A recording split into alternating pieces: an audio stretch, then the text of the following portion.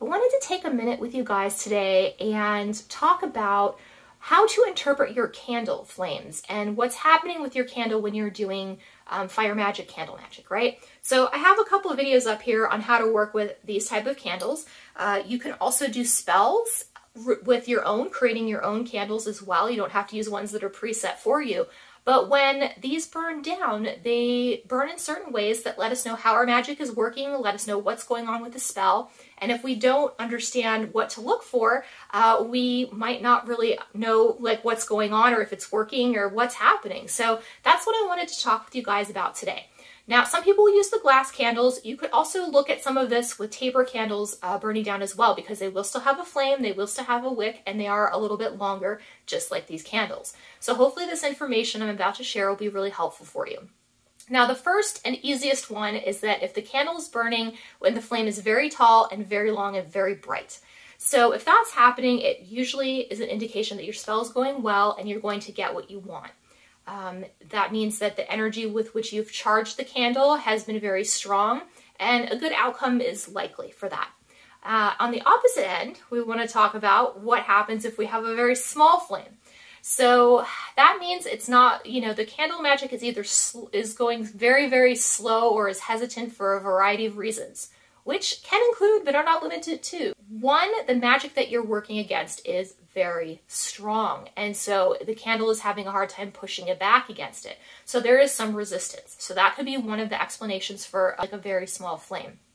The other reason, uh, it's kind of the opposite of what I mentioned before, is that maybe you don't have enough energy and intention in that candle in order for it to work properly. Sometimes this happens when we're not focused or we don't know how to focus our energy. Uh, sometimes it happens when we try to do magic when we're kind of not in that space uh, maybe when we're not feeling super great or maybe we're a little tired. So it's very important to work when you're in a good space because this is something that can happen. Another thing that can happen with this is that you are trying to create magic or an opening or an opportunity or healing or whatever you're doing and the outcome is already predetermined and there's no changing it.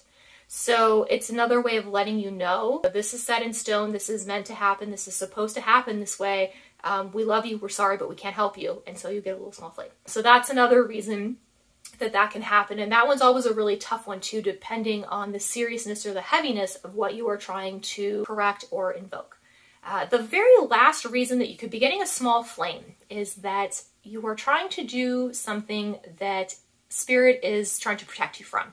Sometimes we want certain things, but that's not what we need. And so it's Spirit's sort of way of having our back. And they're like, no, no, no, we don't want you going down this way um, because it could take us off the path of where we need to be going.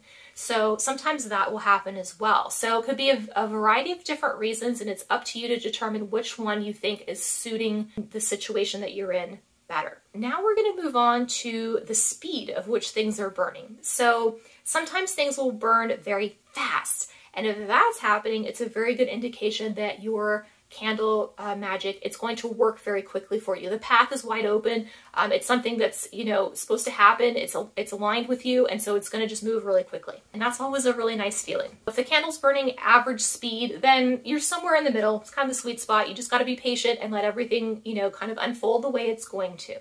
Uh, the thing that's really tricky is if we get a really slow burning flame, because then we go, what the heck is going on? Why is this so slow? So, you know, the reason for that is uh, there's resistance some, somewhere there as well. It's kind of very similar to having a small flame, right? Um, there could be something blocking you. There could be resistance. You could be trying to move stuff that doesn't want to be moved or that shouldn't be moved. Um, or, you know, sometimes too, when we manifest things, timing is also a really big issue, right? So just because it might be something or a door that's not able to open for you right now, and that's what that small flame is showing, showing you, it doesn't mean that it might not open for you later.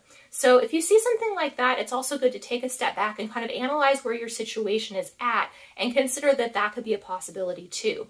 Um, so those are some things that are happening with speed of candles.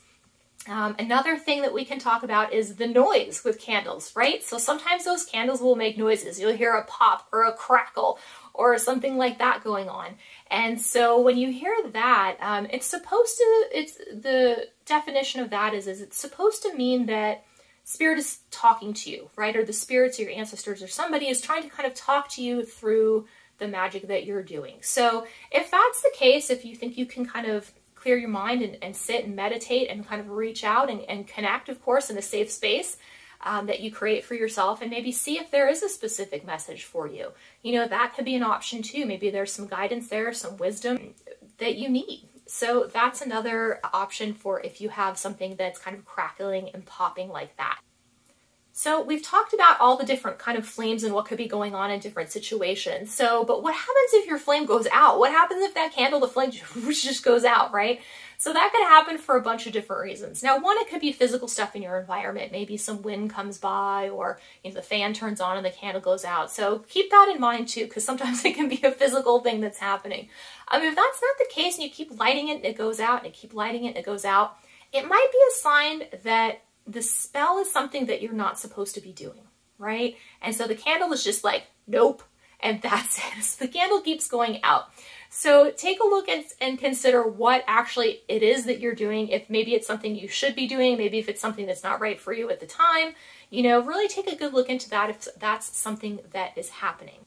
The next thing that we should talk about is what happens when your glass gets soot on it. This can happen in a variety of ways. It can happen from anything being kind of like a little white and clear and cloudy on the glass to something that gets more gray to something that even gets very, very black. What is this and why is this happening? Well, this is just a lot of like kind of negative energy and buildup that's going on around this spell or whatever it is that you're trying to create or manifest or return to sender. Um, whatever it is, it's just, it's, it's, yucky dirty energy you know that's being that's being released or blocked or redirected now, if you have this going on, it could happen, on, sometimes you get it just on the top of your candle, sometimes you get it, you know, some of the way down, sometimes you get it all the way down. And this is just an indication of the level of stuff that you are clearing.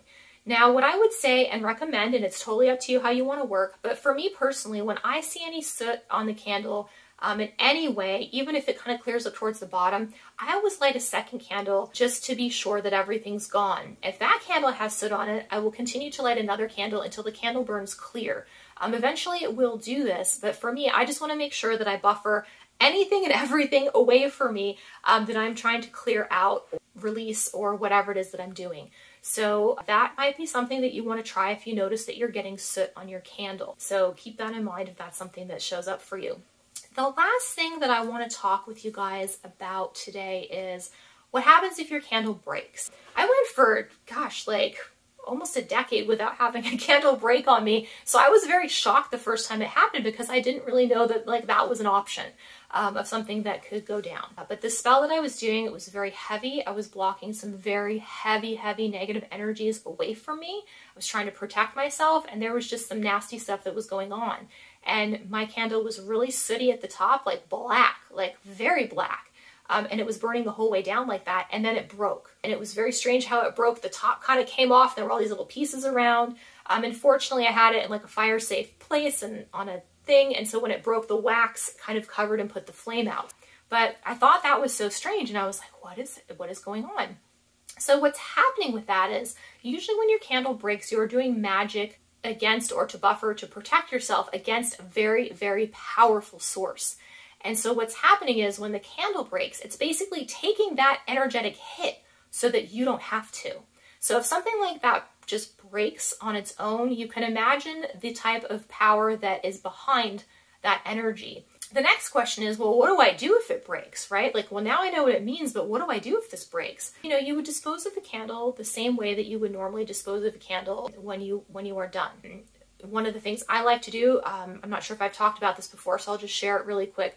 Uh, when my candle is done, I take the glass candle and I will um, cleanse it with some salt, you know, and I'll kind of shake it around and move it around in there before I dispose of it, um, just to kind of clear the energy and make sure that, you know, whatever's left in there is not going to be absorbed or thrown into another space. So that's something that I do. And then I will light another candle and I will do it the exact same way. It's kind of the same thing when you have the soot on the glass. You know, you just keep lighting another one and another one.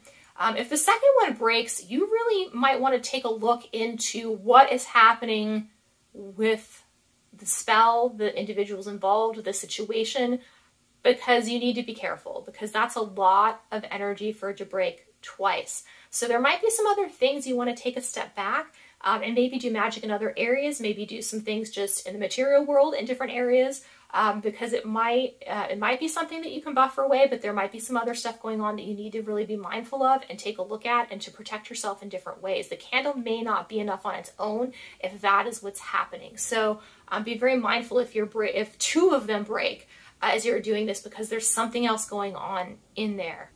So I think that that's everything. That's a lot of the questions that I that I basically get for candles. So I hope that that helps you kind of determine what you're seeing and if stuff is going on, what you should be doing.